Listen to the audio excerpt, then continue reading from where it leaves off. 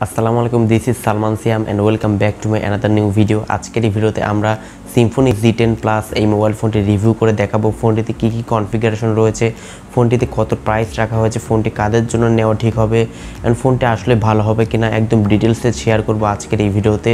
So অবশ্যই ভিডিওটি সম্পূর্ণ দেখবেন। সম্পূর্ণ ভিডিওটি দেখলে এই ফোনটি সম্পর্কে যাবতীয় ইনফরমেশন আপনি জানতে পারবেন। আর এই চ্যানেলে নতুন দর্শক হয়ে থাকলে সাবস্ক্রাইব করে রাখবেন অ্যান্ড পাশে বেল আইকনটি মাস্ট প্রেস করে রাখবেন পরবর্তী ভিডিওর আপডেট সবার আগে পাওয়ার জন্য। সো চলুন ভিডিওটি শুরু করা যাক। প্রিয় দর্শক, প্রথমত Symphony G ten plus mobile ফোনটির বিল্ড কোয়ালিটি নিয়ে কথা বলা যাক। যেহেতু একদম চিপ প্রাইসের একটি ফোন তো সেক্ষেত্রে এখানে প্লাস্টিক বিল রাখা হয়েছে। অ্যান্ড ফোনটির ডিসপ্লে নিয়ে কথা বলতে গেলে এখানে আপনারা ফাইভ ইঞ্চের একটি আইপিএস ডিসপ্লে পেয়ে যাচ্ছেন, যার রেজলিউশন হচ্ছে সাতশো বিশ ইন্টু ষোলোশো পিক্সেলের সম্ভবত ডিসপ্লে এখানে রাখা হয়েছে। ফোনটির ব্যাক সাইডে আপনারা একটি ক্যামেরা পেয়ে যাচ্ছেন, যেটি হচ্ছে ফাইভ মেগা মেগাপিক্সেলের একটি ক্যামেরা পেয়ে যাচ্ছেন এবং ফোনটির ফ্রন্ট ক্যামেরা হিসেবেও আপনারা ফাইভ মেগাপিক্সেল ক্যামেরাই কিন্তু পেয়ে যাচ্ছেন।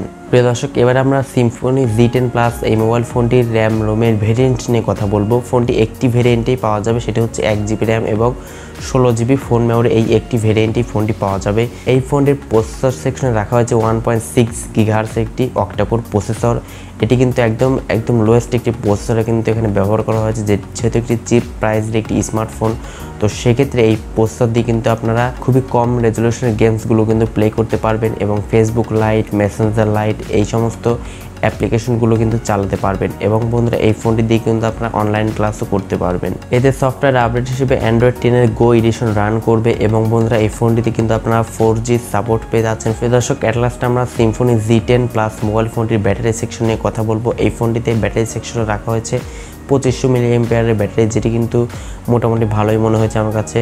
তো যেহেতু চিপ প্রাইসের একটি ফোন, তো সেক্ষেত্রে পঁচিশশো মিলি এমপিয়ারের ব্যাটারি আসলে ঠিকঠাকই মনে হয়েছে। কেননা, এখানে কিন্তু এইচডি প্লাস রেজলিউশনের ডিসপ্লে ব্যবহার করা হয়েছে, যেটি একদম কম রেজলিউশনের পাঁচ ইঞ্চি ডিসপ্লে কিন্তু এখানে ব্যবহার করা হয়েছে।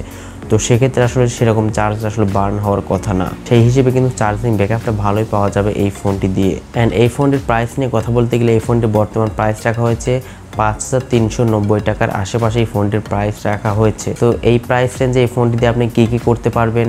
এই ফোনটি দিয়ে মোটামুটি আপনার ফেসবুক লাইট মেসেঞ্জার লাইট এবং যত প্রকার অনলাইন ক্লাস আছে অনায়াসে কিন্তু করতে পারবেন এই ফোনটির মাধ্যমে।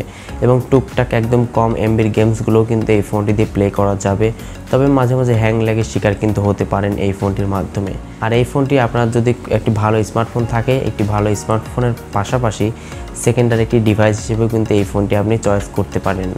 সো বন্ধুরা, আশা করছি ভিডিওটি আপনাদের ভালো লেগেছে। যদি ভালো লেগেই থাকে, অবশ্যই একটি লাইক দিবেন, কমেন্ট করে জানাবেন ভিডিওটি কেমন লাগল। আর এই চ্যানেলে নতুন দর্শক হয়ে থাকলে অবশ্যই সাবস্ক্রাইব করে রাখবেন। দেখা হচ্ছে পরবর্তী কোনো নতুন ভিডিওতে, সে পর্যন্ত সকলে ভালো থাকুন। আল্লাহ হাফেজ। আসসালামু আলাইকুম রহমতুল্লাহ।